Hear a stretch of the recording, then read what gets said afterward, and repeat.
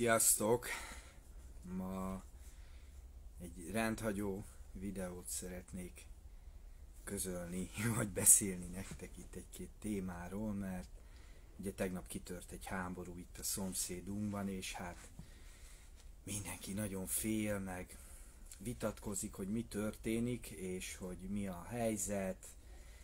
Csöng a telefonom, kapom az üzeneteket, és gondoltam egyszerűbb, ha egy élő videóban elmondom az én álláspontomat, vagy ahogy látom a világot itt spirituális, vagy akármilyen szempontból.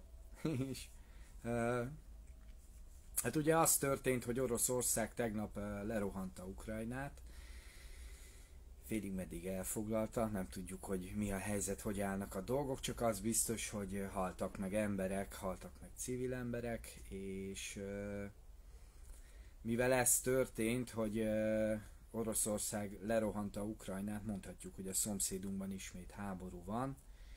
Ugye nem olyan régen volt már, volt már, voltak már összeütközések a szomszédunkban, aztán amikor én fiatal voltam, akkor volt a szerb-horvát konfliktus, és hát ez tulajdonképpen itt a világunknak a része. Na most nagyon sokan szidják Putyint mint spirituális emberek, és hát nekem, nekem teljesen más a véleményem. Én azt gondolom, hogy Putyin teljesen jogosan csinálja, amit csinált. Ő évek óta, évek óta beszél erről, hogy veszélyben érzi az országát. És itt nagyon fontos megértenünk azt, van fönt egy videó a Youtube-on a Kasztok háborúja egy első és második rész, ezt érdemes meghallgatni, hogy teljesen értsük, hogy mi történik.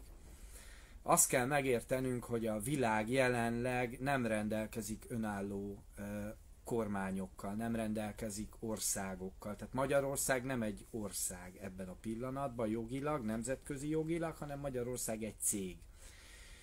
Ugyanúgy, ahogy a magyar rendőrség és a magyar a katonaságot nem tudom, de a rendőrség az biztos, hogy szintén nem egy magyar valami, vagy a magyar, hanem egy cég szintén, amelyiknek bejegyzett részvényei vannak különböző tőzsdéken.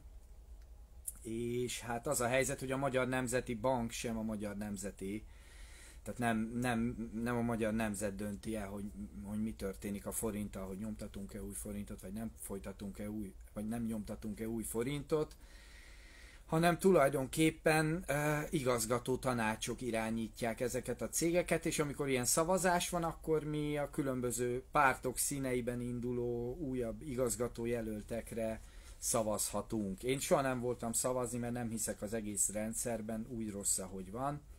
És hát ennek a, ennek a rossz rendszernek a rossz e, helyzetét láthatjuk most. Mert hogy miért mondom azt, hogy Putyin jól járt el, vagy az oroszok nem bűnösök, nem hibásak. Hát azért, mert mert évek óta beszél az orosz elnök arról, hogy tehát itt technológiáról van szó. A technológiának az a lényege, hogy hadi minden, amit mi használunk, ez az okostelefon is, amiről, amin nézed, ezt az élőadást, vagy amiről én közvetítem, ez is egy hadi fejlesztés, amit már nagyon régen fejlesztettek ki arra, hogy a katonáknak ne kelljen papírtérképekkel szaladgálni, hanem csak ide a karjukra föl tudjanak szerelni egy ilyen kütyüt, amin aztán érintéssel nézheti a térképet, hol a többi katona jelentést adhat le, és a többi, és a többi, és amikor ez egy megfelelő stádiumba jutott, akkor a mi rendelkezésünkre bocsátották, hogy én hétköznapi ember is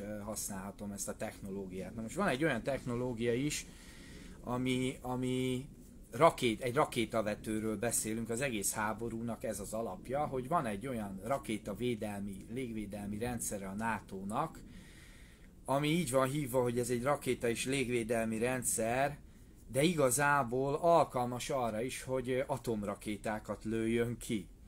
Tehát, hogy egy multifunkcionális készülékről beszélünk, amiben beletethetünk rakétákat, amiben virágok vannak, beletettünk rakétákat, ami más vadászrepülőgépeket szed le, illetve beletettünk olyan rakétákat, amiben atomfej van, és amivel hát szét lehet bombázni világokat. Na most az, hogy melyik ország atom nagy hatalom, arra azért nagyon figyelnek, vagy nagyon igyekeznek oda, oda, oda lépni, és az történt, hogy Ez a kütyű, ami, ami alkalmas atomrakétáknak az indítására is, hát ez a NATO-nak az egyik adóásza, és hát ezt ki kell építeni különböző helyeken. Na most, ahogy ugye egyre több, egyre terjed a NATO kelet felé, úgy még mi beléptünk, mint magyarok, de mi még annyira nem jelentünk veszélyt, viszont Ukrajna és Románia már olyan közel van Moszkvához, ugye, mert ha tudjuk a nagy térképet, akkor uh, Moszkva elég közel van orosz, orosz uh, Ukrajnához és Romániához is. Tehát Oroszországnak a fővárosa mondhatni, hogy uh, olyan távolságban van, hogy ezekkel a légvédelmi rakétákkal, vagy egy ilyen betöltött atomrakétával akár Moszkvát is célba lehet venni. És igazából Ukrajnát most nem azért támadták meg az oroszok, mert le akarják nyomni őket, hanem Ukrajnát azért támadták meg az oroszok, mivel Putyin évek óta mondja, hogy ne, fegy, ne küldjetek, mondja a NATO tagországoknak, illetve többi országnak, bocsánat, ne küldjetek, ne küldjetek uh, fegyvereket Ukra- az Ukrajnák, Ukrajnának és Romániának, hanem ne fejleszétek őket. Na most ezzel nem foglalkoztak ugye a fegyverkereskedők, kereskedők, mert hogy egy kereskedő, ami rendszerről beszélünk.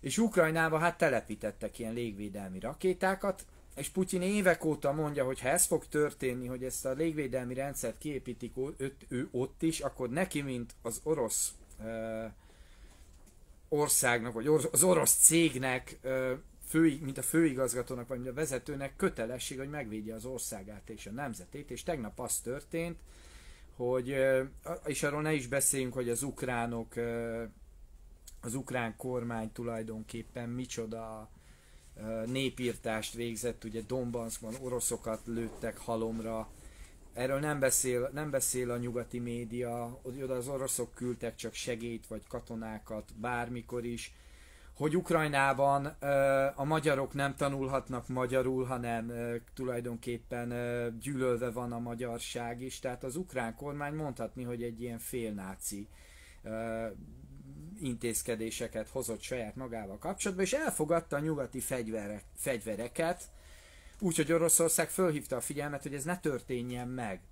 Na mivel Putyin, meg hát az oroszok azok, hát amit mondanak, őt úgy élnek, még ők egy, egy, egy jó harcos kultúra, így tulajdonképpen abban a pillanatban, amint ezeknek a rakétáknak a telepítése megtörtént, vagy a veszélye megtörtént, hogy telepíteni fogják, Oroszország megtámadta Ukrajnát, és ez tegnap volt, a tegnapi napon.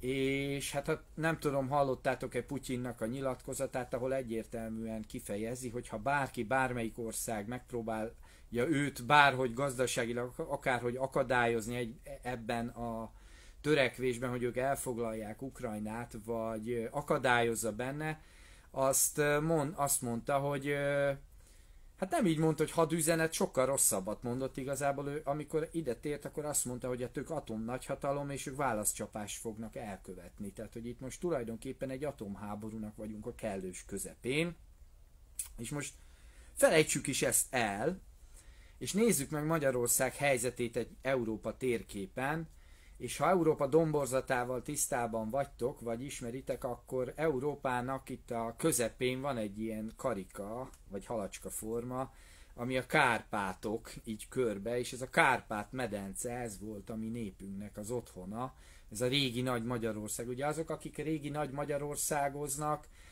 azok csak politikai elképzelésből mondják ezt, viszont a Kárpát-medencének a területi egysége az egy nagyon fontos dolog lenne, viszont nagyon rossz helyen fekszünk.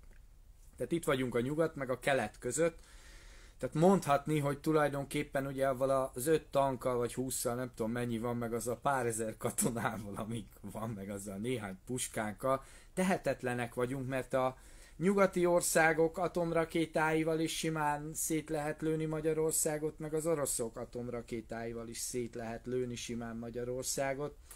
Úgyhogy mi nekünk az az egyetlen, eh, mi nekünk az az egyetlen lehetőségünk van, hogy megpróbálunk mindenkivel jóba lenni, mert abban a pillanatban, mihelyest bármelyik ö, oldalnak az oldalára állunk, abban a pillanatban célpontokká válunk, és azt, azt, azt az egész népünknek a kiírtását tesszük kockára. Oroszországnak akkora atomrakétáik vannak, hogy kettővel el tudják egész Magyarországot letarolni nullára, viszintesre, viszint, az épületeket, a minden, nem az ember, az, mi el is párolgunk abba a pillanatban, gyönyörű halál lenne. Nagy villanás, zúgy, jön a minden, és kész. Tehát két jó helyre leküldött hatalmas a Cár nevű atombombájuk, ami, a, ami a, nem, nem is tudom hány megatonna, mekkora nyomás erővel bír, de olyan pusztító erővel bír, hogy a Kárpát-medencét kettővel el lehetne intézni, max. hárommal, de hát az se semmi nekik, tehát hogy van annyi, mint a rosszabb. És ugyanez a nyugati országoknak is a, a fegyverzete, hogy igazából ők is ugyanígy el tudnak bennünket pusztítani, de közben a sors furcsa fintora, hogy Magyarországon a leggazdagabb a termőtalaj vastagság, tehát igazából ez a Kárpát-medence, ez az egész földnek az éléstára lehetne. Csak hogy a kereskedők, akik, akik jelenleg a világot uralják, vagy irányítják, ők, mivel nem kaptak megfelelő, spirituális, megfelelő gazdasági képzést, hanem csak egy lebutítottat, egy haszonelvűt, így nem tudnak másba gondolkodni, mint bevétel meg kiadásban, nem tudnak másba gondolkodni, mint veszteségbe meg bevételbe, nem tudnak másba gondolkodni, mint anyagi javakban. Tehát ők az igazán éhesek, akiktől, akiktől igazából nem lesz, nem lesz nyugtunk, mert, mert, mert a szegény ember az jól van. Az a baj, hogy a gazdagokat nem tudjuk jól lakatni, és amíg nem tudjuk jól lakatni a gazdagokat, addig ez a rendszer ez fönn fog állni. Tehát az kell, hogy a gazdagokat le kell csereberélni. Na most ennek talán az első lépése, ami tegnap történt, hogy Putyin úgy döntött, hogy ő megvédi az országát, megvédi Moszkvát attól, hogy a nyugati nagyhatalmak szét tudják őket atomrakétázni. Ugye így meséli, van fönn régebbi előadás erről, ahol beszél arról, hogy ha van ez a kütyű, van ez a szerkezet, ami ugyan úgy van hirdetve, hogy ez egy légvédelmi rakéta egység, és ezt telepítik a légvédelmi rakéta egység címén, ő honnan tudja azt, hogy az éj leple alatt nem megy oda néhány sunyi figura, és cseréli ki egy atom rakétára, mert nem tud megfigyelni minden ilyen bázis, meg nem is akar, mert szeretne nyugodtan és békésen élni, Putyin is. Viszont mivel tudja, hogy létezik ez a rendszer, amit ha telepítenek Ukrajnába, akkor már ez a rendszer be tud tölteni olyan rakétát, ahonnan Moszkvát akár egy gomnyomással elintézik az egészet. Na most Putyin ennek a kockázatát, ennek a lehetőségét nem engedi, hogy megtörténjen, és ezért bevonult Ukrajnába. Szinte biztos vagyok benne, hogy a minimális veszteségre törekszik, a minimális pusztításra törekszik. Nincs értelme annak, hogy ellene forduljunk, ő egy igazi harcos. Tehát ő az egyetlen olyan vezető, aki évek óta vezető, és nem hízott meg, nem dagadt meg, nem lett mohó. Persze ő is ben van az Illuminátiba, persze ő is ben van a nagyhatalmak között, biztos nem lehetne máshogy hatalmon. Csak itt azt kell megérteni, hogy a háttérhatalmak sem egy egységes, egy egységes dolog, hanem köztük is viták meg érdekellentétek vannak, pontosan azért, mert nem kapták meg, mind, nem kapták meg azt a spirituális, magas szintű rezgést, azt a képzést, hogy együtt tudjanak érezni a népekkel, a szegényekkel, és mivel, mivel ebbe vannak, így vita vitatkoznak, és tulajdonképpen az ő vitájuk a háború.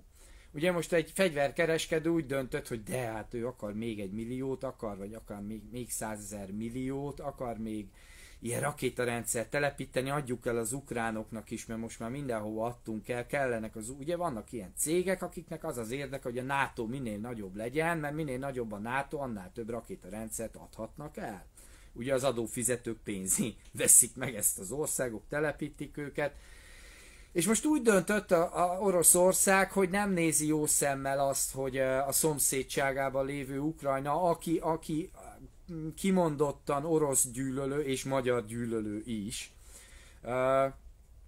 hogy ez megtörténjen, ezért most bevonulnak oda. És hát sokan félnek attól, hogy mi lesz a háború lesz. Hát a háború nem lesz, a háború van és a háború nem tegnap kezdődött, hanem ez a háború, ez már évek óta zajlik, ez a jó és a rossznak a harc, ez bennünk nyilvánul meg. Minden alkalommal, amikor háborús játékot játszol, vagy háborús filmet nézel, a tudatod ezt a rezgést, ezt az érzést közvetíti ki. Ha megnézzünk egy brutál jó akciófilmet, és imádjuk, akkor azt a rezgést adjuk ki, hogy de jó, de jó, de jó, de jó film volt, és már is nem a békéről beszélgettünk, és már is nem a békének a rezgését vibráltuk kifele. Most ami bennünk van, az fog körülöttünk is megnyilvánulni.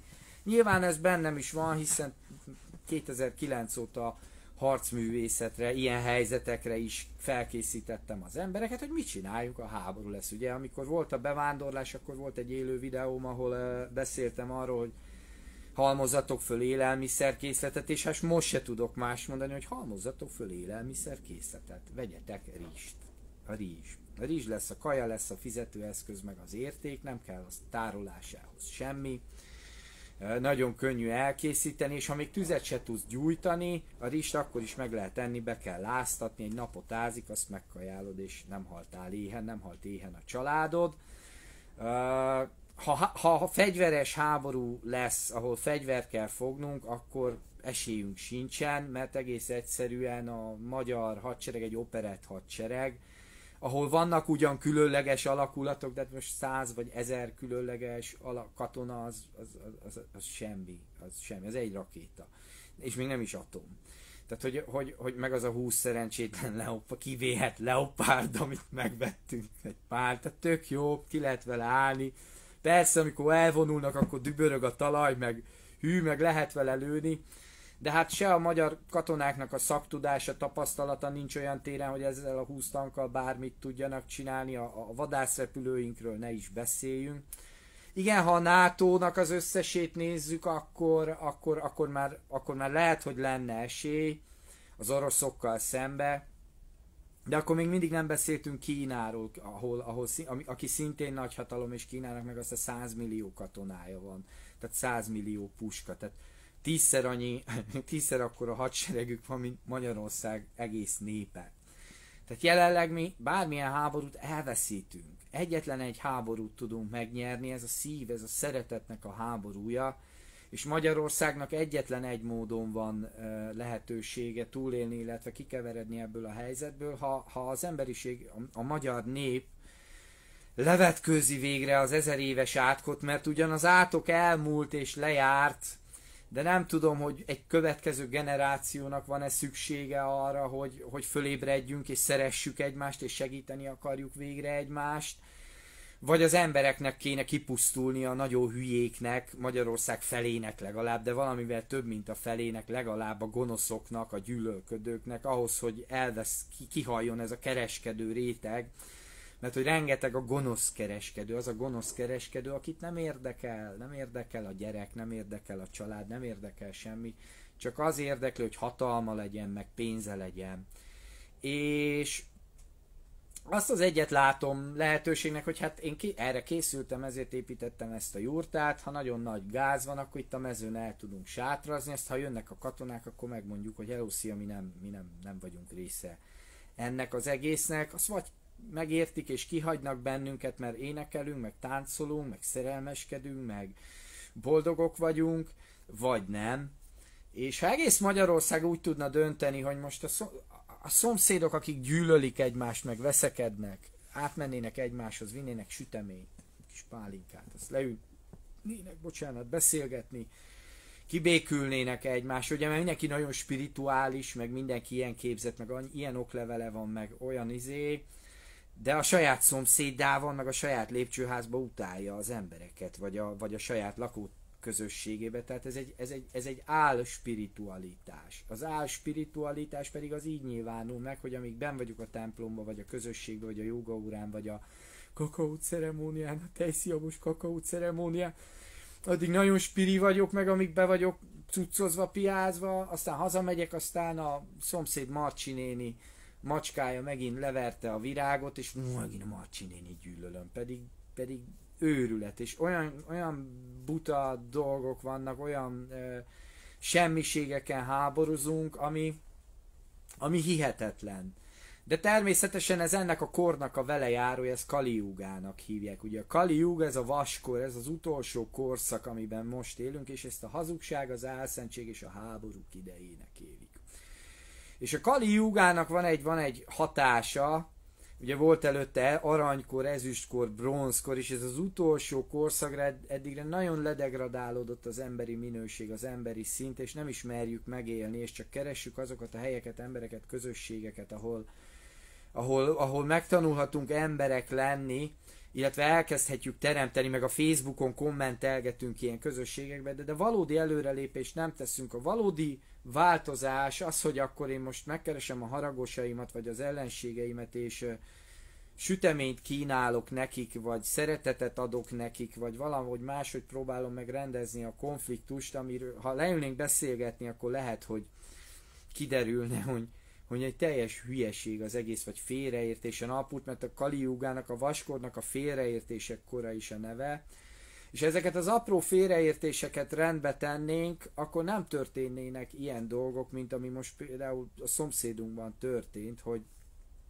néhány ukrán vezető azt mondta, hogy ő nem, őt nem érdekli, hogy a Putyin mit mond, mert ő a NATO-ba hisz, és, és, és elfogadják, az telepítik ezeket a, a, a fegyvereket, és konkrétan annak ellenére, hogy Oroszország kijelentette, Putyin kijelentette, hogy a saját népeteket sodorjátok ezzel, vesz, azzal veszélybe, hogy veszélyeztetni akarjátok ezzel a kiépített rakétarendszerrel Moszkvát, vagy a mi, mi, mi, mi területünket, a mi népünket, az én népemet. Ezért most ez történt. Tehát igazából ő csak védekezik. Oroszország most ez egy védekező támad. A legjobb védekezés ez a támadás. Tehát ha most Putyin mindazok után, hogy évek óta beszél erről, és végignézi, hogy Ukrajnába telepítik ezt a, ezt a rakétarendszert, és továbbra is malmozik, meg csóválja a fejét, akkor, akkor ő nem lenne Putyin. Ő nem lenne akkor Oroszországnak az elnöke. Tehát ő azért az oroszoknak az elnöke, mert az oroszok ilyenek mondanak valamit, és az általában úgy van. Ez egy nagyon ritka, nagyon ritka és különleges vezetői képesség igazából nem szabadna olyan embereknek vezetni, akik nem ilyenek, mint ő. És most nem arról beszélek, hogy akik háborút akarnak, mert Putyin nem akart háborút, Putyin azt akarta, hogy ne legyenek atomrakéták olyan távolságban, ahonnan rommá lőhetik őt is, akár az irodába, bármikor, ha valaki berúg, meghűl, nyom egy piros gombot, az boom és elkezdődik a világkatasztrófa. Tehát mondhatni, hogy jelenleg a helyzet az egy elég kritikus helyzet, bár nem így tálalja a média, de most pattanásig van feszülve a helyzet. Most az történik, hogy mindenki ott ül a piros gomnál, az atomrakétáknál, és, és azt várja, hogy fú, ha kilőnek egyet, akkor neki még legyen gyorsan idője, ki, ideje kilőni a sajátját, ugye? Mert ha kilőnek egy atomrakétát Münchenbe, akkor, akkor ha Münchenből, ha München szétrobban, akkor Münchenből már nem tudják elindítani az atomrakétát. Tehát, hogy filmeket is készítettek erről, ahol elindul egy csomó atomrakéta, mindenki kilövi az összeset mindenhova, mert mindenki azt hiszi, hogy rálőtték a, a többit, és ha egyet kilőnek, akkor az összeset ki fogják lőni, és ez, és ez katasztrofális lenne. Nem a Földnek, a Föld az újjáépül, a, a, a növényzet az újra sarjad, az nekünk lenne szomorú, hiszen véget érne az életünk. Persze az életünk bármelyik pillanatban véget érhet, tehát ettől félni nem érdemes, mert ez az a félelem, ami tulajdonképpen gúzsba köti, meg, meggyökerezi a lábunkat, gúzsba köti a lelkünket, de ettől függetlenül érdemes felkészülni ilyen lehetőségekre is. De vannak, van kétféle ember van, az egyik, amelyik így tudatos, a másik, melyik, amelyik meg azt hiszi, hogy tudatos. Na most, amelyik tudatos, az, az tanul harcolni, tanul fegyverrel bánni, jár lőtérre, legalább tudja, hogy kell csőre tölteni, meg tárazni, hogy tud célba lőni. Amelyik meg azt hiszi, hogy tudatos, az meg azt hiszi, hogy majd a rendőrség őt megvédi, majd a katonaság őt megvédi, meg azt hiszi, hogy úgy megy a háború, mint az akciófilmekben, ami így flessel, meg eszik közbe a popcornt, hogy majd jönnek, az deal dul, deal dul, mindenkit lelő. Na most, uh, hát, az nem így megy, tehát, hogy egy lőtére, ha kimennél egyszer csak, azt megpróbál 5-10 méterről eltalálni valamit egy puskával vagy egy pisztolyjal, akkor szembesülnél vele, hogy éppen hol tartasz, hogy az hangos, hogy az durran, és akkor még csak álló célra lőttél, akkor még nem volt semmi stressz helyzet, nem esett az eső, jól vagy lakva, mert a háborúban éhes vagy, hideg van, nem aludtál már nem tudom én hány napja, lehet, hogy a kezed is szét van fagyva, tehát össze-vissza tudod csak megfogni a fegyvert, és ráadásul egy olyan fegyver kerül a kezedbe, amit az életedben nem használtál, akkor lehet, hogy még csőre se tudod tölteni, vagy ki se tudod biztosítani, ezt ott állsz a puskával, jön az ellenség, és nem tudod használni. És azok az emberek, akik ebbe vannak, ők félnek, és most ők Putyin gyűlölik, mert nem értik azt, amit a tudatosak meg értenek, hogy de hát gyerekek, Putyin csak védekezik, védi a népét, védi az országát. Na most, ugye, amikor béke volt, akkor is mindig erről beszéltem az edzéseken, akkor is mindig erre készítettem föl az embereket, hogy a háború az bármelyik pillanatban eljöhet bármelyikünk életébe. A háború az bekövetkezhet akkor, amikor oda jön hozzád az aluljáróba egy késsel, vagy a villamoson egy késsel. A háború bekövetkezhet egy kocsmába, amikor egy részek társaság köt beléd a két szép szemedér, hogy miért stírölted a csaját, tudnék mesélni. A fiatal koromban nem volt olyan falubuli, ahol ne lett volna balhé, mert ha én ránéztem egy lányra ezzel a két szép szememmel, akkor abból mindig verekedés volt, tehát hogy nagyon sokáig lesütött szemmel jártam, aztán szerencsére megtanultam a ninjutsu megtanultam a kultúrát, és most már bátran merek ránézni bárkire, mosolyogni, meg nem járok már falusi bulik. Van, jó járok, de most már általában szeretettel fogadnak, és tök jó minden, mert ki a franc akar verekedni, háborúzni, meg egy 40 éves vagyok, gyerekek, meguntam. Elég volt a balhéból, mondhatni, hogy megöregettem, de hát azért nem öregettem meg, inkább a lelkem kezdett beérni, nem kell háborúzni. Főleg azért, mert a szeretet a legerősebb fegyver. A szeretet ellen nincs, nincs semmi esély.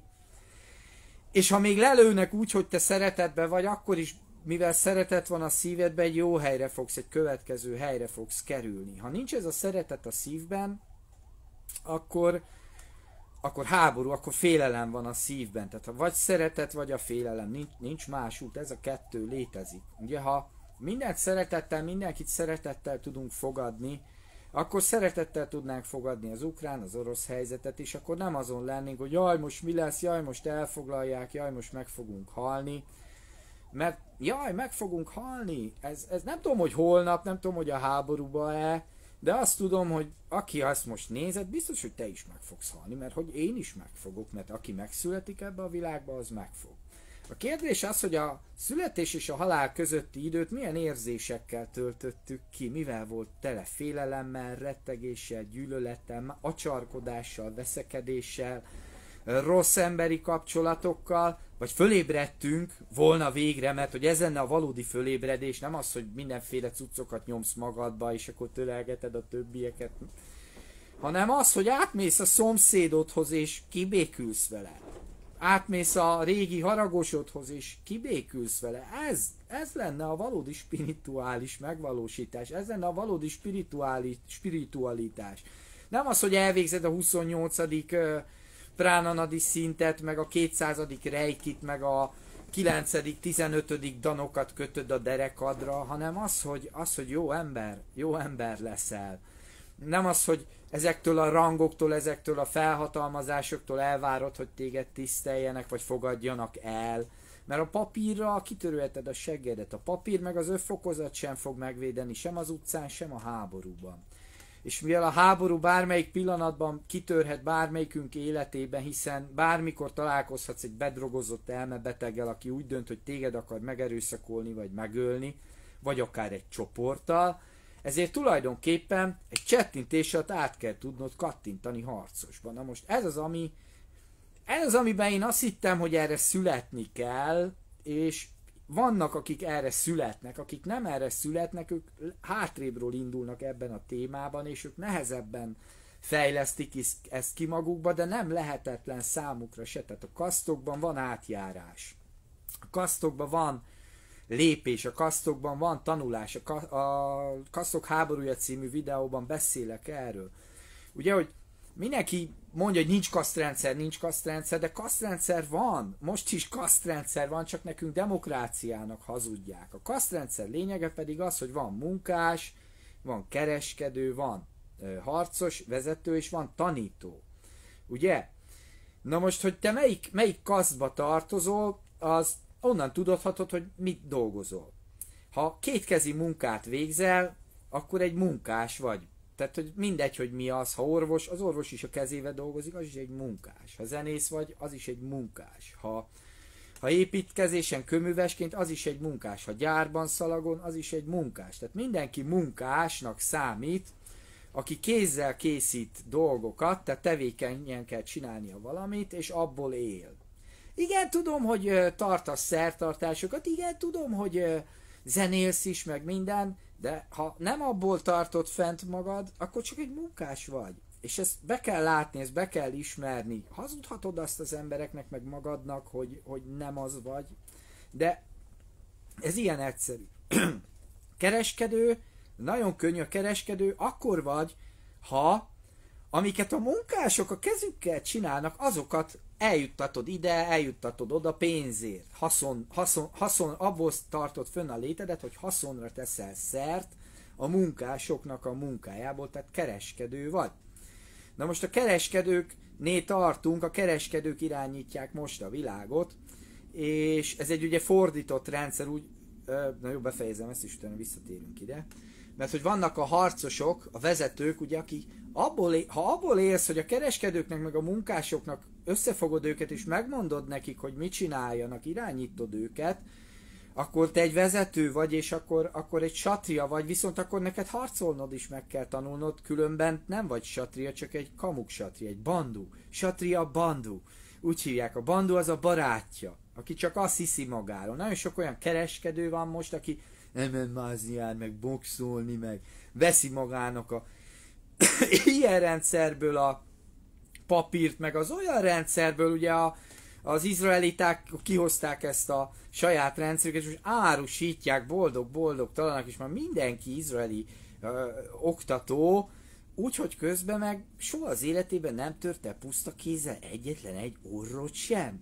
Gyerekek, aki nem vette vérét kézzel legalább egyszer egy másik embernek egy szituációban, annak nincs tapasztalata. Tapasztalat nélkül tanítani önvédelmet vagy harcművészetet, az pedig átverés. Az kamu. Ez a helyzet. Ezért van az, hogy inkább marketinggel, mint életszerűséggel próbálják ezt a rendszert csinálni, és vannak a tanítók, akik a legkevesebben vannak, akik abból élnek, vagy abban csinálják, hogy tanítanak embereket. Én például tanító vagyok, mert abból létezek, hogy tanítok. Most is tanítani próbálok ezen a videón keresztül, ami igazából nem én tanítok, hanem az információt, amit kapok az őstentől, azt így elmondom nektek is, és mivel ez sokatoknak tetszik, és sokatoknak hasznára válik, ezért szívesen segítitek az én álmaimat, mint például ezt a jurtát, amit az adományaitokból igyekszek azért építeni, hogyha kitörne a háború, vagy, vagy nem sikerülne leváltanunk az igazgató tanácsot, nem tudunk rendszert váltani, és egy királyt választani, végre egy királyt ültetni az országnak az élére, akkor még mindig legyen itt egy kis terület, ahol azt mondhatjuk, hogy nekünk, nekünk nem számít, hogy ránk, ránk nem, nem mondhatjátok ezt a dolgot, hogy nem próbáltuk meg, de szívesen szeretnénk kimaradni ebből az egészből, úgyhogy, úgyhogy légy szíves. Nem tudom én se, hogy mi a jövő, nem tudom én se, hogy mi lesz. Az biztos, hogy a bölcsember az a legrosszabbra készül, a leges legrosszabbra, de a legjobbat reméli. És ez a legjobbat remélés, ezt tart engem is így életben, vagy ezt tartja bennem is a szívet. Természetesen a legrosszabbra készülök, és a legrosszabb nem Putyin. A legrosszabb nem a NATO, nem az atomháború. A legrosszabb az a mesterséges intelligencia, gyerekek, hogy, hogy a mesterséges intelligencia irányítja ezeket az embereket már, vagy élet, élő robotokat hoz föl. Természetesen én is rettenetesen reménykedek benne, hogy ez csak egy elmebeteg ötlet de ettől függetlenül mi van, ha már a mesterséges intelligencia irányt? Mert ha a mesterséges intelligencia irányt, akkor őt nem fogja érdekelni az éhező kisgyerek, meg a szétlőtt család, mert ő neki az csak statisztika. Na most az a helyzet, hogy nagyon sok kereskedő, akinek így működik az elméje, ők már mint egy robot úgy gondolkoznak, és háborús veszteségként, vagy szükséges veszteségként fogadják el tulajdonképpen azt, ami történik, és simán belefér nekik, hogy valami rossz történjen azért, hogy nekik egy kicsit több pénzük, vagy még egy jachtjuk, vagy még egy akármiük legyen, és mi, akik, akik hétköznapi emberekként tengetjük az életünket, hiszen most én is egy sima munkás vagyok, most, mert néha tanítok csak így videón keresztül. Jó, meg mindig, amikor eljön valaki, mindig tök jókat beszélgetünk, de de most egy kétkezi munkás vagyok, mert ezt a jurtát a két kezemmel építem. Na most azt kell tudni, hogy a, a munkás az csak munkás. A kereskedő az munkás is. A harcos az, az harcos és kereskedő és munkás. A tanító az pedig harcos is, meg kereskedő és munkás is. Tehát, hogy mind, bármelyik a magasabb kasztok, azok el tudják végezni az alacsonyabb kasztoknak a dolgát is. Ez így történik. Én most azért építem a jurtát, hogy amikor eljöttök, akkor lássátok, hogy de itt tudok dolgozni. És jól megy ez, tehát megvan az a szint. Aztán majd jön a kereskedő, majd azt is lehet, hogy megmutatom, bár azt nem szeretem, mert egész életemben ebben a rendszerbe élek, és nagyon elegem van belőle. És a harcost gyerekek, hát az, az el kell jönni edzés, azt megnézzük, vagy ha lesz valami, akkor majd csinálunk valamit. A tanító meg itt van, és az meg így mindig leledzik bennem. És itt az a fontos, hogy oda el kell jutnunk, hogy a saját forradalmunkat, a saját harcunkat mind megéljük. A saját harcunkat meg akarjuk élni, akkor az, az, az úgy néz ki, hogy váltunk, és lekapcsoljuk a tévét, lekapcsoljuk a híreket, nem ezzel vagyunk elfoglalva, hogy Putyin mit csinál, meg igaza van-e, nem azzal vagyunk elfoglalva, hogy most ki, kit kell utálni, mert, mert mindegy, hogy kinek az oldalára állsz, benne vagy, ez van a szívedben. Ugye van egy ilyen hármas tanítás, hogy elkövető, áldozat és megmentő. És ez a hármas ö, szerepek, ha így nézzük a történeteket, akkor ezek keverednek a mi életünkbe is egyfolytában. Tehát abban a pillanatban, mint, amint hall, hallod valakitől, hogy hú, az az ember ezt meg ezt tette ő vele, tehát hogy volt egy elkövető, meg volt egy áldozat, és fú, is, tehát hogy lehet ilyen rohadék, oda megyek, agyonverek, te vagy a megmentő, oda mész, megmented, és utána abban a pillanatban ott állsz. Na de amikor az elkövető nem ölöd meg, és elmegy, és elmeséli, hogy figyelj, ezt csináltam, ugye ott már ő lesz az áldozat, és te leszel az elkövető, és akkor majd jön egy harmadik ember, aki téged, tőled akarja megmenteni a világot. Tehát ez egy végtelen történet. Egy végtelen, végtelen történet, amíg, amíg ebben, ebben szemlélődünk, ebben leledzünk, amíg nem tudunk meg elhatárolódni ettől a hármas ö, megnyilvánulástól, addig folyamatosan a jó és a rossz között vívódunk, és nem tudunk az arany középúton, az arany tudatállapotban létezni. Mert az arany tudatállapot az se nem a sötét, se nem a világos oldal, ugye ebbe a yin-yang szimbólumba, ugye van, van itt egy ilyen, hanem egy ilyen kanyar, bocsánat, kanyargós út, ahol néha egy kis, kicsit a sötétség, a több, néha meg egy kicsit a fény, a kicsit, biztos előttetek van ez a yin-yang szimbólum, majd lesz itt, hogy rá tudjak így mutatni, hogy ott van, de most még nincs. De ezt mindenki ismeri. Na most, ha ezt a hármas egységet a saját életünkbe is elkezdjük alkalmazni, és végigvetítjük, mondjuk végigvezetjük egy meditáció során az eddigi életünket, és fönt van egy videó, nagyon egyszerű meditáció, hanyat fekszel, becsukod a szemed, elkezded ringatni a fejedet, és csinálni, én így szoktam csinálni. Végig gondoljuk, végig szoktam így gondolni a történeteket az életembe, és végigutaztam ezt én már többször is, meg régen is, és végignéztem, hogy gyerekkoromtól fogva mik azok a sérülések, bántások, amiket átéltem, milyen traumák éltek, amikor ezt még nem tudtam. És ezeket mind fel kellett dolgoznom, hogy ne úgy gondoljak azokra, akik bántottak, hogy ők voltak az elkövetők, én meg voltam az áldozat, és akkor jött valaki, aki vagy megmentett, vagy nem. Vagy aztán én, amikor én mentem igazságot tenni, hogy úristen, most aztán itt majd most mi lesz akkor, és én vagyok a megmentő, vagy én voltam az áldozat, hogy mi történt, amikor elkezdtem ebből így végigvezetni az életemet, ugye mert a gyerekkori traumák azok hatással vannak a jelenlegi életünkre is, tehát a gyerekkorodban valaki beszólt így meg így, vagy volt valami szitu, vagy illat, vagy fényviszony, vagy bármi, az előhozza ezt az érzést, és elkezdünk mi is ö, belesüllyedni a megmentő, az elkövető, vagy az áldozat szerepbe. Abban a pillanatban, mint ezt a történetet is, hogy Oroszország, Ukrajna és NATO, erről a háromról beszélünk, nézzük, hogy mi történik, akkor most nézhetnénk úgy, hogy Oroszország az elkövető, mert Ukrajna az áldozat, és majd valaki majd jön, és ő lesz a megmentő, vagy ha szeretett meditációt csinálunk minden reggel nyolckor közösen az ukránokért, akkor majd mi leszünk a megmentők, mert mi meditáltunk otthon egy 10 percet, vagy egy órát, majd, majd attól ők megmenekülnek. Persze,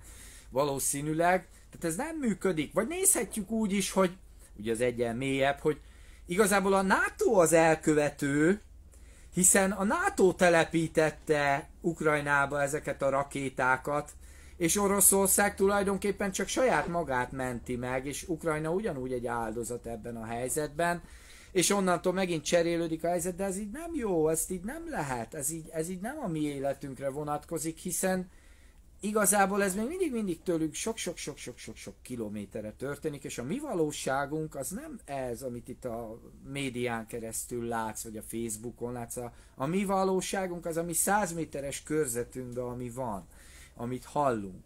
Nekünk ebben a 100 méteres életkörnyezetünkben kell megvalósítanunk a békét, és aki bejön a mi 100 méteres körzetünkbe, annak szeretetet kell kapnia felőlünk, ha azt akarjuk, hogy nekünk jó legyen. Természetesen ez egy nehéz út, főleg mert egy csomó ember nem is tudja, hogy mi a szeretet. Ami nem tudja, mi a szeretet, nem tudja azt adni se.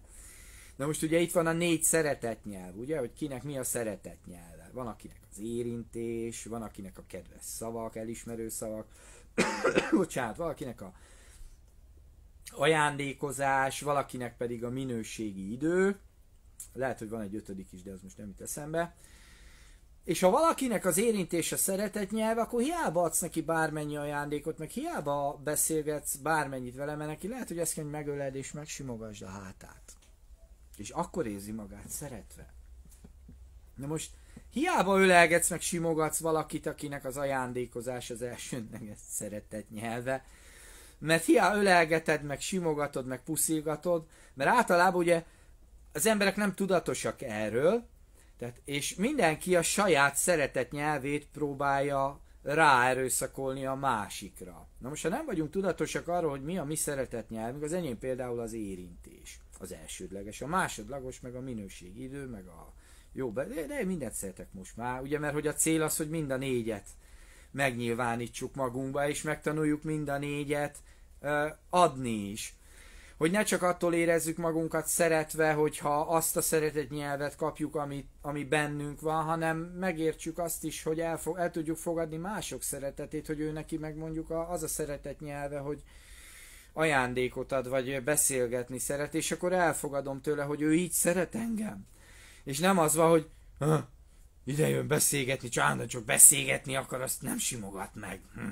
Ugye? Tehát ez így nem, nem, nem pály, ugye, mert nagyon sokan szenvedünk ebben, nagyon sok ember szenvedettől. Én is sokáig szenvedtem ettől, amíg rá nem jöttem. El nem olvastam, el nem kezdtem gyakorolni, meg nem tapasztaltam azt, hogy ez így működik. Tehát, hogy a szeretett nyelvünket kell fejleszteni, az érzelmi intelligenciánkat ahhoz, hogy a valódi szeretet megnyilvánulhasson bennünk és a környezetünkben is. Na most, ha mi akciófilmeket nézünk meg, milyen játékokat játszunk meg, horrorfilmeket nézünk kikapcsolódásként, akkor ne csodálkozzunk azon, hogy a horrorfilm eljön az életünkbe, hiszen mi azt a rezgést ö, rezegtük, sugároztuk kifele, amikor ezekkel foglalkoztunk. Abban a pillanatban, amit elkezdünk virágfűzéreket fűzni, meg habos kakaót inni, meg zenélni együtt, meg énekelni, meg táncolni, abban a pillanatban azt a rezgést erősítjük kifele, hogy azt szeretnénk a jövőbe, ugye? Mert ez nem egy azonnali dolog, hanem ez egy jövőbeli dolog. És az sem elég, hogy csak egy napot eltöltünk így, hanem ez egy életmódváltás kell hozzá. Az, hogy az ember azt mondja, hogy jó, akkor én mától elkezdem a szeretetet sugározni, és ez nem azt jelenti, hogy ülök és hm, szeretlek, szeretlek, szeretlek, meg zümmögök, hogy szeretet, szeretet, meg gyújtottam szeretetet, meg telerakom szívecskével a lakást, hanem azt, hogy elkezdem az embereket szeretni. Az elkezdem az embereket szeretni pedig az azt jelenti, hogy megértem, hogy mi az én saját szeretet nyelvem, megértem, hogy mi az övé, és tiszteletben tartom, hogy esetleg még nem tartott, hogy elfogadja az én szeretet nyelvemet, hanem megpróbálom megérteni, hogy mi az ő szeretet nyelve, és amikor tudom, hogy mi az ő szeretet nyelve, akkor azon fejezem ki magamat. Tehát ez lenne az alapja, ezt kéne az oviba tanulni, meg a bölcsibe, meg az általános iskolába, meg ezeket fejleszteni, meg ilyen szeretetórát kéne általános iskolába tartani, hogy mit tudom én, mindenki kihúz egy nevet, és kérdezd meg attól az osztálytársat, hogy neki mi a szeretet nyelve, és utána meg akkor gondolkodjál, hogy akkor hogyan fogsz vele így szeretetben lenni, és jövő héten kihúzol egy másik embert, és így teljesen más lenne a képzés, teljesen más lenne a, a társadalomnak a szintje, a rétegződése, mint ami most van. Ehelyett mi van, hat éves korban beülsz az iskolapadba, azt meg sem mozdulják, ki nem nézhetsz semmi, mert ha már kicsit mocorogsz, meg nyújtózkodsz, akkor már rád mondják, hogy viselkedés problémás, meg Asperger, meg és a többi, mennyi kettyó suliba, és akkor anya már úristen, a gyerekem kisegítő iskolába jár, meg speciálisba, meg Waldorfba, mert nem normális, nem, nem normális, egész egyszerűen ember, érző emberi lény, egy magas szinten lévő spirituális lény, aki nem bírja hagyni, hogy elnyomja a rendszer, azért, mert van egy tekintélyuralmú képzési rendszerünk, ahol a tanár az Isten, és amit ő mond, az van, ha azt mondja egyes, akkor szoború a vész, ha azt mondja ötös, akkor meg boldogan. Pedig egy gyereknek ez, ez egy nyomor, hogy meg kell felelnie. Ráadásul ne is beszéljünk arról a sok hazugságról, amit igazságként kell elfogadni és visszaismételni ahhoz, hogy ötöst kapjál, és a hazugság elismétlésétől fogod értékes embernek érezni magadat. Ugye már csak vegyük itt a magyar történelmet, de már kémia meg a fizika sem az, ami, tehát hogy már az se az. Ne, ne, végtelen, végtelen történet. Tehát a háború és a béke ennek a mai beszél, beszédemnek, vagy, vagy előad, nem tudom mi ez, videónak a témája, amit azért szerettem volna elmondani, mert sokan, sokan írtok, kerestek, hogy most akkor mi van, hogy van, miért van, mi lesz, háború lesz, háború van. Igen, háború van, ez a háború zajlik már nagyon régóta, a sötét és a jó oldal egyfolytában harcol egymással és elpusztítják egymást. Igazából a sötét az, aki mindig tevékenykedik, és azt is mondják, ugye, hogy ha jó tétlen, akkor a gonosz győz. Ezért néha a jóknak is oda kell csapni, tehát hogy most ez történt. Nem mondom, hogy Putyin jó, én azt mondom, hogy Putyin egy jó vezető, akit a népe felhatalmazott arra, hogy irányítsa a hadsereget, és ők most megtámadták Ukrajnát, és bízunk benne, hogy nem jönnek tovább, ugye? Tehát bízunk benne, hogy Magyarországon még nincsenek ilyen légvédelmi rendszerek, mert ha ő elfoglalja Ukrajnát, akkor onnantól, ha Magyarországon is van ilyen rakétarendszer, Ukrajna Oroszországhoz csatolásával, akkor már az ukránokat is meg kell védeni ezektől a rakétarendszerektől, tehát hogy tovább fog menni egészen addig, amíg az összes rakétarendszerrel rendelkező valamit el nem foglalja. Nyilván ez is egy ilyen legrosszabb verzió, de lehet, hogy az lesz belőle, hogy elfoglalja Ukrajnát, azt mondja, hogy tök jó, azt nekünk meg visszaadja Erdélyt, ugye ott van egy ilyen kis csücsök, egy ilyen kis csücsök a Kárpátokból, amit így lecsíptek ezek a ukránok, és hát ott él egy csomó uh, magyar ember, és hát ezt nekünk vissza kéne így kapnunk, sőt tulajdonképpen igazából az összes egész Kárpát-medencét egyetlen egy területi egységét kéne tenni, Ugyanúgy, ahogy Jézusnak az első csodatétele az volt, hogy bement a templomba, szagyonverte a kereskedőket, meg kirugdosta őket, ugyanúgy nekünk is mindenhonnan templommá kéne tennünk a, a lakásainkat, a házainkat, templommá kéne tennünk az utcákat, a városokat, és az összes kereskedőt összeverni, aki, aki nem, nem tud szeretetből kereskedni, nem tud úgy kereskedni, hogy mindenkinek jó legyen, hanem csak átver, lehúz, nem azt nézi, hogy kárt okoz, hanem csak az érdekli, hogy neki jó legyen, és minden más le van kakkantva. Tehát abban a pillanatban, amin mi magunk ezt a szeretetet elkezdjük sugározni, és mi magunk ezt elengedjük ezt a kereskedői hozzáállást, amit belénk vertek az iskolába, szinte igen, hát a mi sulinkban még volt verés, tehát a csava akkor sallerokat osztott, hogy és egy szülőnek nem volt vele gondja, de tényleg egy szülő. Kaptam egyszer tőle akkor, ez mondja, az aranygyűrűje itt maradt az arcom, vagy két-három hétig, fantasztikus történet, majd egyszer elmesélem. De én köszönöm azt a pofont, én hálás vagyok érte, nem úgy gondolok rá, hogy úristen, milyen állat volt a tornatanárom. Úgy gondolom, hogy ő úgy érezte, hogy megkapom azt a pofont, és igenis, mivel olyat tettem, amire megmondta, hogy nem tehetem meg, én meg mégis megtettem, bum, ez volt a következmény. Most ugyanezt, én így nőttem föl. Tehát Putyin ugyanezt csinálja. Megmondta, hogy gyerekek, ne csináljátok oda rakétát, ne tegyetek oda rakétát, mert pofol lesz. Hát de, de minket ez nem érdekel, oda mentünk, bum, a hülye gyerekek. Én is egy hülye gyerek voltam, amikor kaptam ezt a pofont az, az általános iskolai osztályfőnökömtől, aki amúgy a torna tanárom is volt, de hiszek benne, hogy ez működik. Sajnos a, a, a, a kutya mentalitású embereket verni kell. Ez az igazság. Mondhatjuk, hogy nem. Mondhatjuk, hogy az agresszív embereket nem. Mondhatjuk, hogy a szeretet ereje legyőz minden. De az a helyzet, amikor egyedül mész haza nőként, mondjuk miniszoknyában, meg tűsargóban, és a bokorból kijön egy bedrogozott, aki kitalálta, hogy ő majd, ő most meg fog erőszakolni, őt azt szeretheted bármennyire, ő ezt meg fogja csinálni.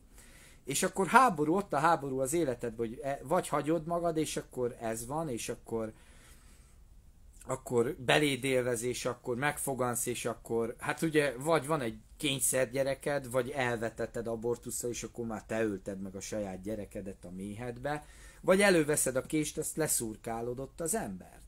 És akkor megint öltél, és akkor megint ez történt, viszont akkor azért öltél, hogy, hogy szeretetbe tudjál maradni. Azért öltél, hogy békébe tudjál maradni. Tehát ez egy nagyon-nagyon fontos dolog, hogy, hogy erre vagy készen állsz, vagy nem. Ha mindig csak azt várod, hogy majd a rendőrség, majd a katonaság, majd a szomszéd, majd a közbiztonság, hopp, leesik a kamera, váltok. majd a, ennyire azért nem, nem heavy a téma, hogy a, hanyat dobja magát a telefon. Tehát, hogy ha mindig arra várunk, hogy valaki más majd megcsinálja helyettünk, akkor soha, soha nem lesz semmi, soha nem lesz semmilyen változás, soha nem lesz semmilyen béke, soha nem, nem lesz semmi.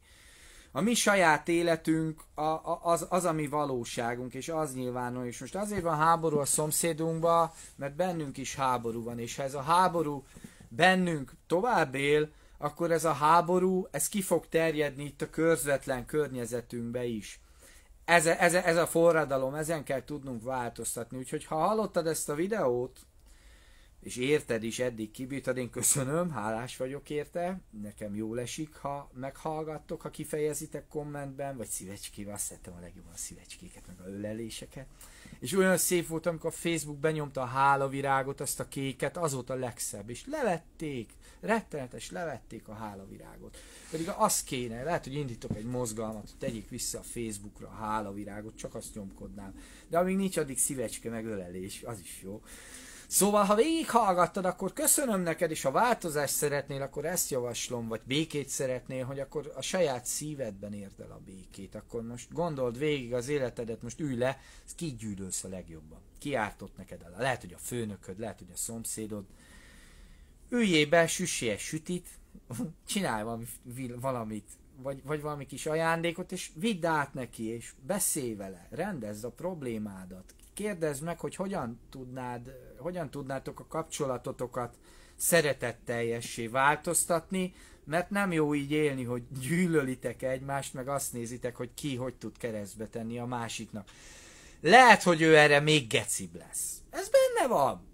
És lehet, hogy kétszer kell majd átmenned, meg háromszor, mert nem érti. Tehát nem adhatod föl. Ebben ez a szép, hogy nem lehet föladni, nem lehet azt mondani, hogy én vittem neki sü- süteményt, erre a rohadék oda szaragta a kutyáját a házé. Tehát ez nem így működik, hanem akkor el kell ki magyarázni, hogy figyelj, most mégis miért szeretted ide a kutyádat, hogy nem lehetne? Az, hogy köszönöm, hogy köszönöm, hogy adtad a kutyaszart, berakom a paradicsom palánta alá, azt ekkora paradicsomjaim lesznek, de akkor ha már akkor ne a ház elé szarasd a kutyámat, hanem akkor itt egy kis zacskó, abba szaras bele, és akkor nyugodtan tedd csak ide oldalra, én majd beviszem a paradicsom palántákba, tehát ez egy gondolkodásmód, ez egy látásmód. A ninjutsunak, amit én harcművészetet tanítok, ez az alapja, hogy nincs rossz helyzet, nincs vesztes helyzet, amikor tudatodnál, te azt sem, hogy le vagyok kötözve, akkor szemmel verlek. akkor szemmel. Tehát, hogyha nincs más, akkor szemmel. De, de, hogy nem ez az élet, nem ez az élet. Mindig ott a lehetőség, mindig van egy fegyver, csak amíg ugyanott keressük a megoldásokat, ahol eddig voltunk, addig csak ugyanazokat a viselkedés mintákat pörgetjük, amik, amik, amik ezt a káoszt hozták az életünkbe. Tehát próbáljuk meg változtatni. Azért a sütit mondom, mert az elég ritka, hogy valaki sütit, süt és átviszi a haragosának, vagy a szomszédjának, vagy, mert ez elveszett a kultúránkból, ez az étel ajándékozása, pedig a Sri, nem, Sri Upadesamrita, ez egy nagyon vékony kis szentírás, ez egy ilyen velős szentírás szerint, ott van a szeretetnek hatféle ö, kifejezési lehetősége van. Ugye most a szeretet nyelvtől vonatkoztassunk el, ez egy régebbi sztori. A szeretet nyelv is ugyanez, az, az még jobban áll. De ha nem tudod, hogy ö, ki a, nem tudod, hogy mi a szeretet nyelve az embernek, akkor van hat dolog, ami hat, három igazából, de hat ami, amivel nem lehet hibázni. Az első az az étel adása és az étel elfogadása. Tehát amikor elfogadod az ételt valakitől, az is a szeretetnek a jele, nem csak az, hogy adsz. Amikor elfogadod, az is a szeretet jele. Aztán az ajándék adása és az ajándék elfogadása, az is a szeretetnek a jele és a, a következő, a negyedik az az elme bizalmas feltárása, tehát amikor átmegy valaki elmondja a gondját, és a mások elme bizalmas feltárásának a meghallgatása, tehát amikor leülsz a barinőde és hallgatod, mondja, mondja, mondja, mondja, mondja, az, az is a szeretetnek a jele. Tehát ha van haragosod, akkor csinálj egy tál süteményt, azt menj át beszélgetni vele, vagy vegyél egy üveg pálinkát, azt menj át beszélgetni, vagy csinálj tejsziabos kakaót, mert a tejsziabos kakaót mindenki szereti, és vigyél át neki tejsziabos kakaót, vagy forró csokit, és, és beszélgessetek, mert, mert nincs más, nincs más. Vagy öld meg, vagy öld meg. De az, hogy veszekedtek egymással, az nem. Az, abból, abból csak egyre rosszabb lesz. Abból az lesz, hogy ti ott veszekedtek, balhéztok, megy a háború, és egyszer csak eljön az igazi háború, azt lelőnek téged is, meg őt is. Bum, bum, mert ezt akartátok. Igen, veszekedni akartatok, háborút akartatok, neztek, akkor itt van. Tehát ez a rezgés, ez ezt hozza elő, ezért törekedjünk a békére és a szeretetre, vigyetek át sütit a szomszédnak, szeretkezzetek, szerelmeskedjetek, imádjátok egymást, a szomszédaitokat, nincs jó meg rossz, arany közép van, ez, ez, ez kell megnyilvánítani, megvalósítani a saját életünkbe, a béke útján, és a béke útja az az, hogy a saját életedben rendet raksz, nem a Facebookon kommentelgetsz, jó, hát ha engem hallgatsz meg ezt a videót nézed, akkor valószínű, hogy nem, vagy ilyen, bár biztos itt van néhány olyan követőm is, aki imádja gyalázni a dolgokat, de hogyha ezt hallgatod, és, és, és ezt szeretnéd, akkor, akkor lépj át velem az aranykorba, éljél velem az aranykorba, ami volt eredetileg, mert az aranykorban az emberek még szerették egymást. Hozzuk vissza az aranykort, és, és rendezzük a rossz kapcsolatainkat a szüleinkkel, ugye nagyon sok embernek sérülése van anyuval, apuval, ki kell békülni. Tudom, hogy nehéz, nagyon nehéz. Meg kell bocsájtani. Tudom, hogy nehéz, tudom, hogy lehetetlen. Vannak olyan dolgok, amiket nem lehet megbocsájtani. De meg kell. Ez van. Nem lehet, de meg vagy gyötrődhetsz egy életen át, és ez a gyötrődés, ami megkeseríti az életedet, meg fogja keseríteni a te gyerekeidnek is az életét, mert a dobot passzolod tovább. És ha nem történik egy ilyen karmikus feloldás, egy, ne, e, e, e, egy interkontinentális nemzetközi karmikus feloldás, akkor most jön a harmadik világháború, amiben csak valaki belő Oroszországba egy rakétát, és Oroszország ma oda is küldi az atomot, mindenki megnyomja a gombot, és mi vagyunk a kell, az egésznek a kellős közepén, a csatatér kellős közepén, itt a Kárpát-medencébe, 20 darab kivéhet Leopárd utca, meg az az, az, az, az erőálltom a Leopárd utc. Nem a tankok, nem a leopárdok, hanem a igazi Leopárd. Meg, meg azzal a 12 darab mirázsa, vagy nem is tudom mi a nevük, nem, nem is spré, úgy hangzik. meg azokkal a mondjuk most leszerelt, leszerelték a Bren 2 a Magyar Honvédségnek a, a puskáit. Vajon mi lehet azzal a rengeteg Kalasnyikovval, meg AK, MDA-val, vagy AMD-vel? Mi lehet azzal a sok MDA-val, vagy AMD, bocsánat, nem emlékszek a nevére, és tudod, a kihajtós váltám, az, ami volt a sok, mert nem írnak róla, hogy beolvasztották, nem írnak róla, hogy azokkal mi eladtuk őket. Mi van velük? Hol van az a sok ö, puska, ami, ami, amivel háborút lehet vívni, és amiket most lecseréltek a Bren 2-es. Kedves férfi társaim, nézzétek meg a Youtube-on, a magyar hadseregnél rendszeresített Bren 2 típusú új puskát, hogy ne akkor, amikor véletlenül a kezedbe kerül, akkor kelljen, hogy hol kell ezt csőre rántani, meg hol, kell be, hol megy be, attán ne akkor kelljen ezzel szarakodni. Érdemes megnézni az új pisztolyokat is, a CZ-t, már fönn van Youtube-on mindegyikre, így működik, úgy működik. Jó, még ilyen kis béna videók vannak, meg el sütyiskodják, mert ugye mindenkinek új a fegyver, még nem sokan gyakorolták ki készségszintre, de hogy ezek, ezek ilyen tök alapvető dolgok, hogy, hogy ezekhez egy férfi ember, meg szerintem egy nő is érthet, az egri nők, gyerekek, hát nem tudom tanítják-e ma, de hát az egri nők ugyanúgy fegyvert fogtak Egerbe, harcos nemzet vagyunk, a hunok leszármazott a Jatilla meg Csaba király vére. Hát itt van bennünk, mind érzitek, mind tudjátok, csak ezt az erőt az átok miatt egymásra, meg a szomszédokra, meg anyára, meg apára, meg a tanárokra, meg a nem tudom én kire zúdítjátok, ahelyett, hogy befelé figyelnétek, és szeretetté alakítanátok, és utána ezt sugár... Én, én is ezt csináltam, azért mondom, nem rólatok beszélek, hanem így általában, hogy most ez, ez az emberiségnek a forma, és a kivezető út az ez, hogy, hogy nem az, hogy még egy oklevél, még egy meditációs tanfolyam, még egy ajavaszka szertartás, még egy, még egy, még egy spangli, még egy bogyó, mit tudom, még egy csík kokain, nem, nem ez a megoldás az a megoldás, hogy kitisztul szépen, nem, a, még egy alkohol, hát nincs egy alkoholista, gyerekek, az alkohol az ugyanolyan drog, az egy masszív ká, aki alkoholista, az kábítószeres. Az egy narkós. Ez van. Az, hogy ez legalizálva van, ami nem tettünk. Le kell tenni minden ilyesmit, ki kell tisztulni, és tisztán a szeretetet, át kell gondolni a problémáinkat, az ellentéteinket, és fel kell oldani őket, fel kell oldani a gyakorlatban. A gyakorlatban, amit nem tudunk, mert már meghalt az illető, arra lehet szertartásokat tartani. Hogyha szülők elmentek, vagy nagyszülők, akkor oda lehet virágot, meg gyertyát, és imádkozni, hogy bocsássanak meg. De aki még él, akivel, és konfliktusod van vele, őt keresd meg, kér tőle bocs, te kér tőle bocsánatot. Mindig az az erősebb, aki bocsánatot tud kérni. De hát nem is én sértettem meg, nem is én voltam. Igen, tudom. Ez van. Attól még kérhetsz bocsánatot, nem? Ez nehéz, de, de ez egy tök jó út. Én ezt próbálom gyakorolni, így próbálok élni, ezt próbálom, ezt tanultam a mestereimtől, ezt próbálom továbbadni, és ami nekem egy nagy segítség volt, hogy az a, az, az út, ahova én csatlakoztam, ott tilos átkozni. Tehát, hogy ez nekem, jó, négyszeres skorpióként nekem ez nagyon fontos volt, hogyha valaki bánt, akkor jót kívánjak neki. Ugye Jézuska is ilyesmiről beszélt, ez a dob vissza kenyérrel, vagy valahogy. Jó, hát engem megdobnak kőve, visszadobom a követ. Tehát, hogy nem gondolsz, utána majd ápolom, vagy valami. Mert hogy ki tudja, hogy mi lesz. De hogy valahol ez, ez ennek van azért létjogosultsága, hogy valaki bánt, azért még tudunk szeretetet adni. Amikor viszont fizikaira fordul ez a dolog, akkor nem, nem, nem biztos, hogy érdemes végignézni a saját családainknak a lemészárlását.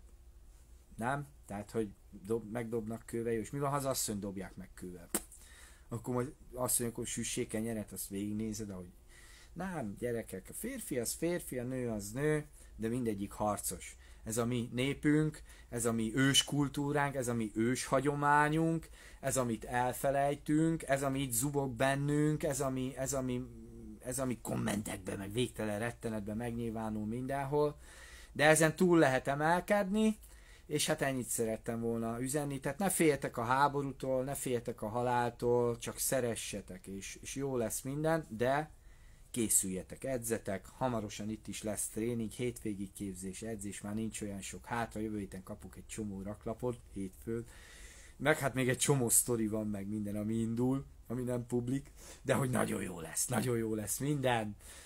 Köszönöm, hogy meghallgattatok, az Isten áldjon benneteket, és most küldjetek sütit mindenkinek, sok sütit. Szeressetek mindenkit, a süti a megoldás, a csokis süti. A csokis süti általában mindenkinek működik. Na azt meg Isten békesség, áldás. Sziasztok! Jó mindent!